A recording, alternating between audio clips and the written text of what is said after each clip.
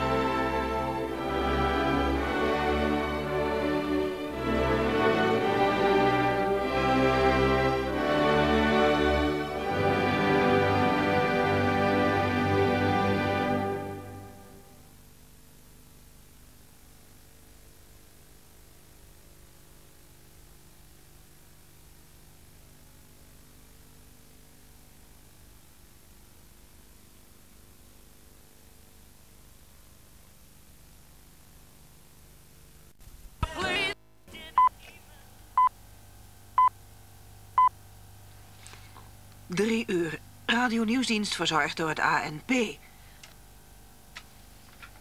De Baskische afscheidingsbeweging ETA heeft zich verantwoordelijk verklaard voor de ontploffing van een bom gistermiddag op de spoorlijn tussen Madrid en Valencia. De ETA voegde er de waarschuwing aan toe dat op de spoorlijn tussen Madrid en Sevilla ook bommen zullen ontploffen. Op beide lijnen rijden al enkele dagen geen treinen nadat de ETA een eerste waarschuwing had gegeven. Na de explosie op de lijn Madrid-Valencia heeft de Spaanse politie op die lijn een andere bom gevonden en onschadelijk gemaakt.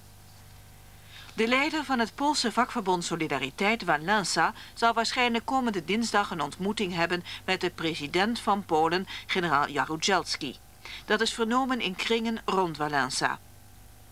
De leider van Solidariteit gaat morgen naar Warschau voor de hernieuwde legalisering van het vakverbond. Generaal Jaruzelski verbood de vakorganisatie in 1982, kort nadat hij in Polen de staat van beleg had afgekondigd.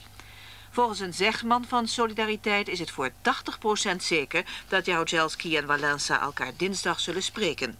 Het zal hun eerste ontmoeting zijn sinds 1981. Op een veiling in Parijs is een beeld uit de eerste helft van de 17e eeuw verkocht voor 6,5 miljoen gulden. Het bedrag benadert de hoogste prijs die ooit voor een beeld is betaald. Dat was 7,3 miljoen in 1987 betaald voor een werk, van Alberto Giacometti.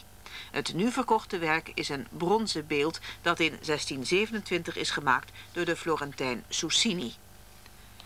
De weersverwachting tot middernacht. In de vroege ochtend mogelijk vorst aan de grond en in het noordoosten enkele mistbanken. Overdag periode met zon en vrijwel overal droog.